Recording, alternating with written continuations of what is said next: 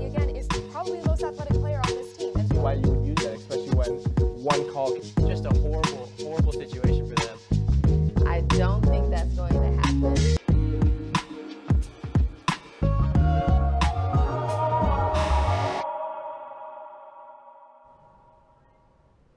Hello and welcome back to another episode of Take a Side. I'm your host, Max McElroy, and we've got a great show for you today.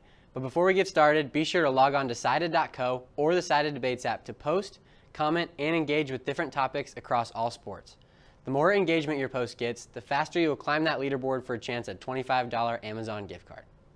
Switching into our first debate, I am joined by Namdi Enanike and Barry Anderson to debate on which AFC team is better, the Chiefs or the Chargers. Both teams met last Thursday with the Chiefs clinching the win, but a very competitive game and talent all over the field does not seem like the play last week gave us a true answer. Namdi, let's hear your thoughts. Thank you, Max. Like you said, I'm Namdi Onyanike. I'm joined by Barry Anderson. And I want to preface this to begin with that I do believe that the uh, Chargers, they're a fantastic team. They have a high powered offense, and they have the potential to dominate in years to come. Herbert, he's phenomenal. He has potential to be an all time great next Aaron Rodgers. But the issue is, is they're currently in the midst of the Chiefs' reign of dominance in the AFC, and they're in the AFC West where they're to have to play us twice a year. Mahomes, he's an unstoppable force, and these Chargers aren't necessarily that immovable object in their path quite yet, in my opinion. What do you think, Barry? Oh yeah, of course. The Chiefs are a great, fantastic team, but every time the Chargers face the Chiefs, it's always an injury problem. Like the re- most recent game, you know, the missing of Keenan Allen, Mike Williams had to play in the slot most of the game. Got him, kind of got him out of his comfort zone, but he still played a, a magnificent game, uh, especially that uh, touchdown he caught. But I understand why you guys uh, keep putting Finnan on him. Like from for years to come after, it's going to be a great matchup. Uh, but yeah, I really think we're very good on paper and also on the field. It's just like it's always these coincidences of us missing our key players and stuff like that.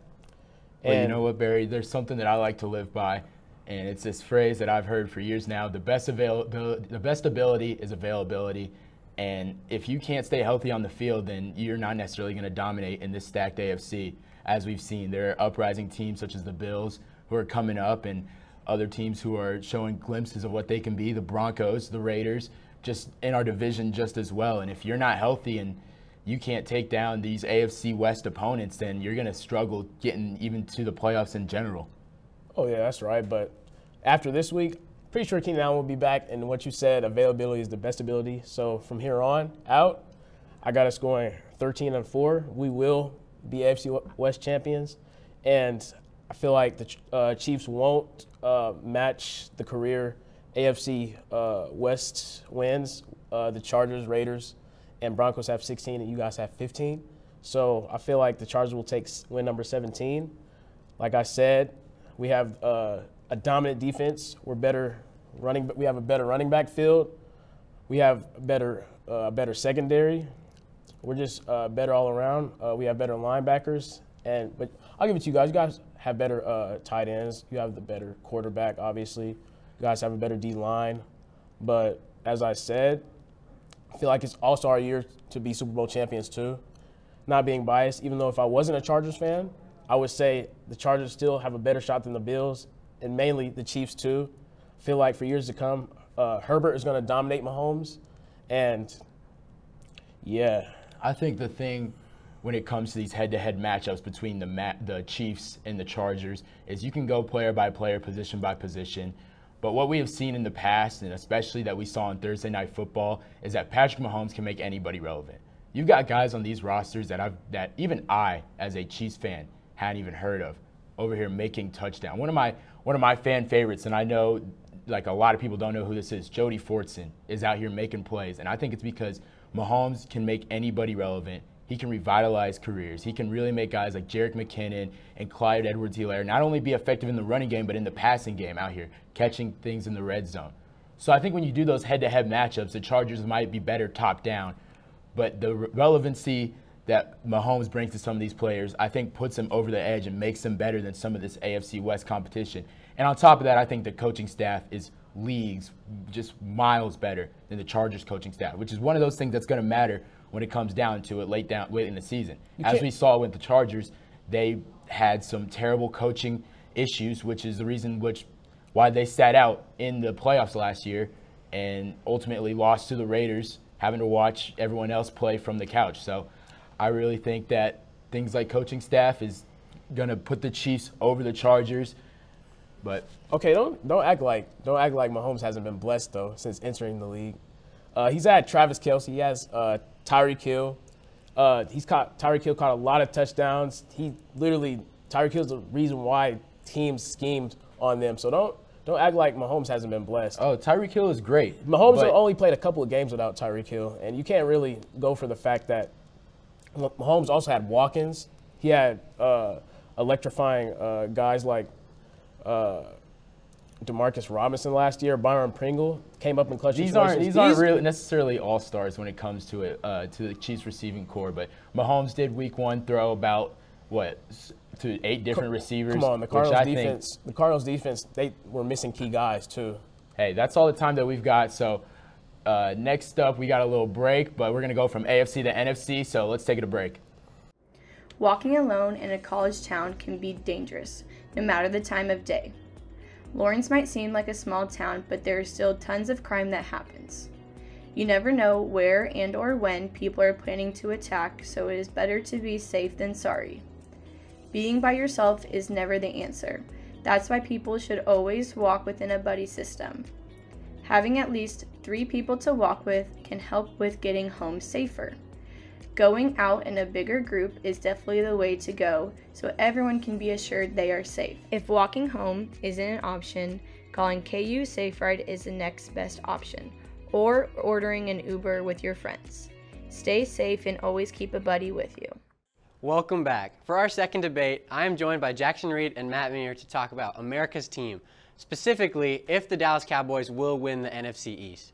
With Dak Prescott out for a couple weeks, backup quarterback Cooper Rush took to the defending AFC champions yesterday and grabbed a win from the Bengals. Does the roster the Cowboys have warrant them winning the division? Jackson, what are your thoughts? Thank you, Max. Appreciate it. Happy Monday, guys. Now, let's start. With, let, us start this debate with a question. Mm-hmm. What do Jahan Dotson, Cooper Kupp, Amon St. Brown, Michael Thomas, and Jaylen Waddle all have in common? Do you know? No, what is that? They all, all of them, have more touchdowns than the Dallas Cowboys do.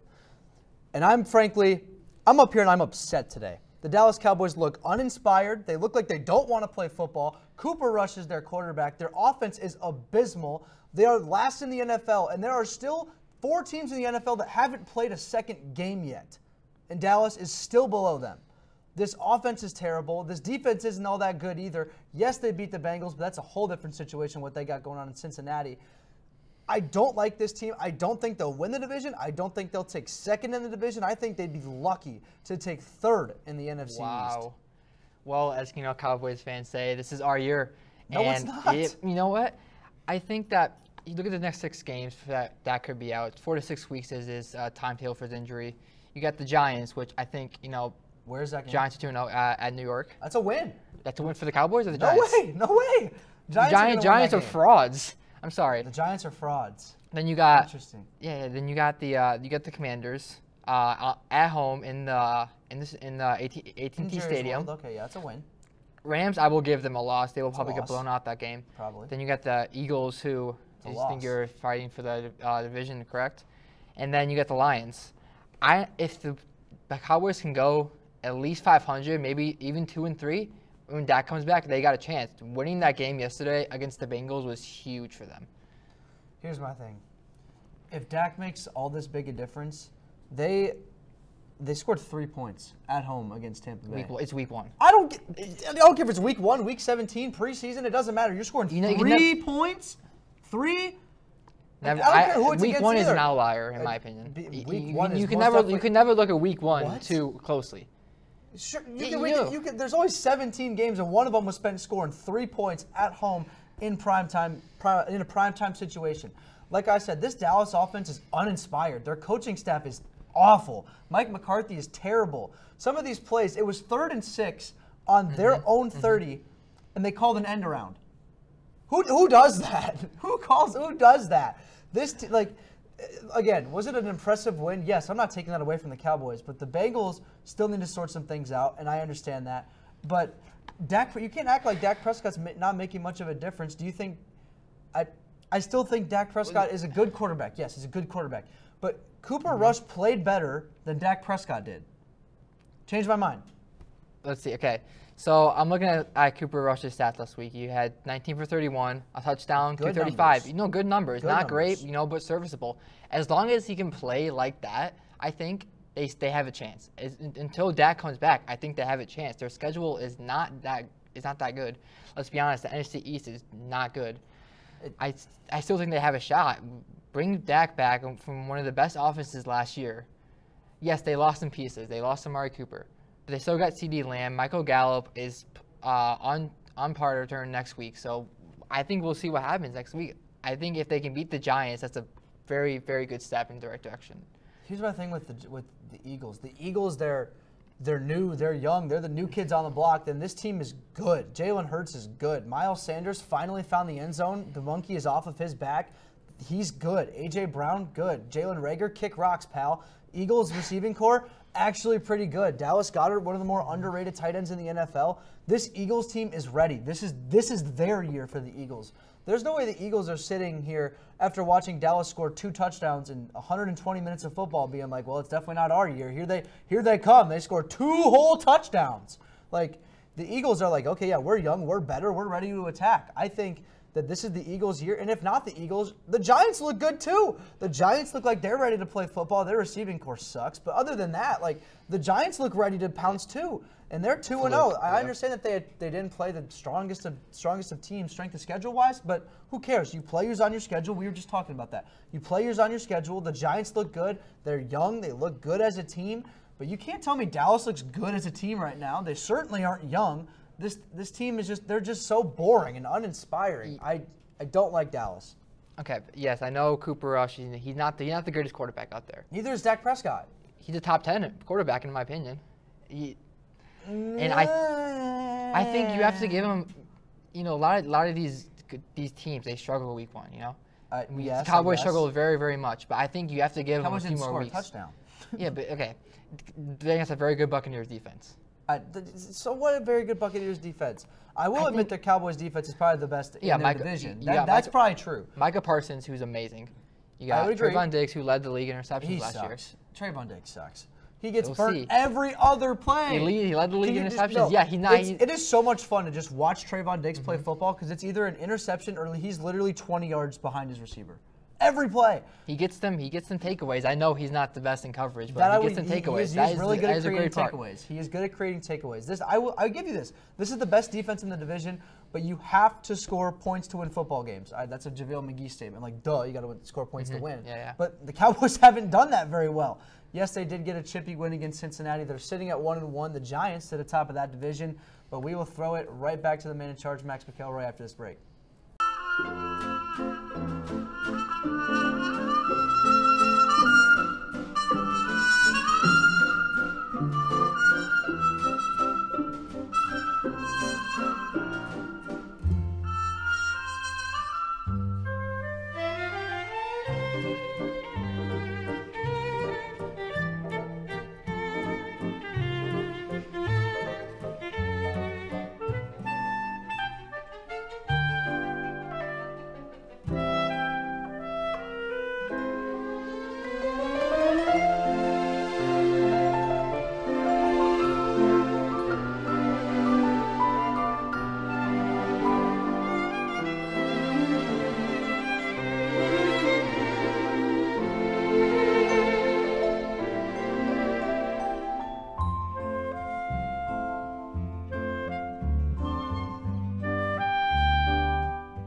For our third and final debate today, we will have a debate about the coming Monday Night Football matchup between the Minnesota Vikings and the Philadelphia Eagles.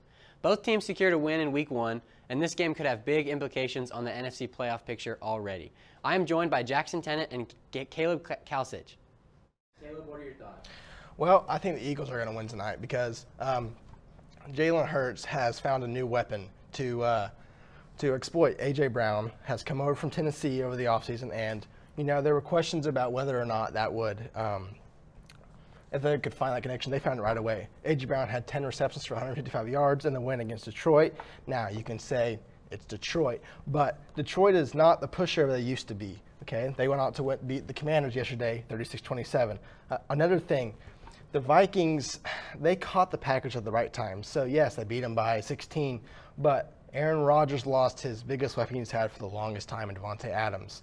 So, I mean, the, their receivers, the highest receiving yards was from a running back yesterday. So, to say that you know the Vikings had an impressive win, it may not be the case. Uh, the Vikings now have to stop a receiving corps that is developed and with a quarterback that not only can pass but can run, and that's a problem to stop. So, what do you think? Well, Caleb, you make some good points. However, I'm really high on the Vikings this year. I think they're going to win this game. And I think part of the reason why I'm so high on them is because they got Justin Jefferson. Justin Jefferson's my pick to win Offensive Player of the Year. Last week, he had nine catches, 184 yards, and two touchdowns against Green Bay. And yes, like you said, it may not have been as high profile of a win. However, I still think that Green Bay defense is pretty solid. And I think Justin Jefferson did a number on him. I mean, he's a two time All Pro wide receiver already. And he's a premier wide receiver and going against a Philadelphia Eagles secondary that I believe is a little suspect. Obviously, yes, they got Darius Slay, who's still a premier player, but outside of that, you got some guys that really aren't. I don't think they can contain Justin Jefferson. And Justin Jefferson is younger. Darius Slay's getting a little older. So I just think that matchup will go to Justin Jefferson's favor. And yeah, I just think he's gonna go. He's just gonna go crazy tonight. That's my prediction. I, I just don't know if Kirk Cousins will be able to find Justin Jefferson like he did, like he was able to uh, last week. And just because the Eagles were able to get some pressure on Jared Goff mm-hmm. last week, and that forced them to have a pick six, which you know, during that time the Lions were trying to get back into the game, and that cost them everything. That gave all the momentum back to the Eagles, uh, which they went on to win by three, a very high-scoring game, which. I do think if it goes to a high scoring game, it's going to going to favor the Eagles more because I mean the Eagles can score. Jalen Hurts had 243 passing yards, which was which would have been the fifth highest amount than what he had yet last year. Mm-hmm. I think, I mean, me personally, I just think the Vikings tonight with that offense led by Kevin O'Connell, I think they're just going to completely just go out tonight and just have an amazing game. Kirk Cousins is a great QB. I think he's personally better than Jalen Hurts. I think he's last year he had 103.1 passer rating. That was good for fourth in the league, tied with Russell Wilson for that spot. 4,221 yards, 33 touchdowns, seven interceptions. Last week had a very good game, uh, 277 yards and two touchdowns. And we haven't even talked about Dalvin Cook. That running game tonight, look for Dalvin Cook to have a big game. Maybe in Alexander Mattison, they'll run some packages with him. The, the Vikings offense is something special, and I really do think that's going to carry them far. And it's going to carry them in tonight. They're going to go to Philly, and I think they're going to beat the Eagles. See, I just I don't think the Vikings will be able to stop an RPO style offense that is now come over and transform the NFL. No, it used to be that's what college used to do. The NFL is purely pocket quarterbacks, but now that is coming into the NFL by storm with Kyler Murray, Jalen Hurts, all those quarterbacks. I just don't think the Vikings are capable of stopping an offense like that with you know Jalen Hurts can either keep it, run around, hand it off to Miles Sanders, or throw it down to A.J. Brown. I just don't think it's possible for them to stop that offense. See, I, like Jalen Hurts, but I'm still not completely sold on him yet. I obviously see the potential. I obviously see the talent. He's had some great moments in his career already. But tonight, I just don't think that in this primetime game, I don't know if he's ready for that stage yet. Kirk Cousins, I'm not going to try to argue that he's like some big time quarterback in these primetime stages, but he's been there before. He's been there and he's won games. I think Kirk Cousins is going to outbattle Jalen Hurts tonight. That's all we have today. We'll send it back to Max. Thank you guys very much. Thank you for tuning in to today's show. As always, be sure to log on to Sided Debates app or sided.co to start posting, voting, and commenting on other debates. And follow us on social media. Our Twitter is at TakeAsideKU, where we will post clips from the show as well as some bonus debates throughout the week. Our Instagram is also at TakeAsideKU, and we'll be doing live debates and interact with our viewers. Thanks for watching. For all of us here at Take a Side, we'll see you next week.